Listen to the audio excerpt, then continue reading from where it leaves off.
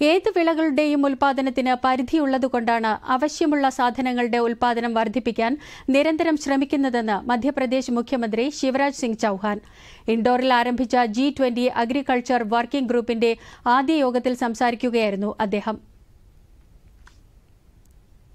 രാജ്യത്തെ സോയാബീൻ ഉൽപാദനത്തിന്റെ അറുപത് ശതമാനവും മധ്യപ്രദേശിലാണ്.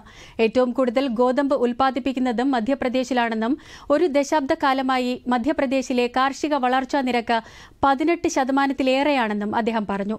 യോഗത്തിൽ ചെറുധാന്യങ്ങൾ കേന്ദ്രീകരിച്ചുള്ള പ്രദർശനവും മുഖ്യമന്ത്രി ശിവരാജ് സിംഗ് ചൌഹാൻ ഉദ്ഘാടനം ചെയ്തു.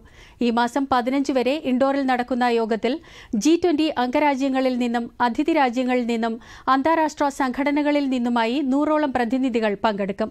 രണ്ടാം ദിനമായ നാളെ കേന്ദ്ര വ്യോമയാന മന്ത്രി ജ്യോതിരാദിത്യ സിന്ധ്യ പരിപാടിയിൽ പങ്കെടുക്കും. മൂന്ന് ദിവസം നീണ്ടുനിൽക്കുന്ന പരിപാടിയിൽ വിവിധ വിഷയങ്ങളിൽ ചർച്ച നടക്കും. പരിപാടിയിൽ പങ്കെടുക്കുന്ന പ്രതിനിധികൾ ഇൻഡോറിലെ രാജ്വാഡ കൊട്ടാരവും ചരിത്രപ്രസിദ്ധമായ മാണ്ടു കോട്ടയും സന്ദർശിക്കും.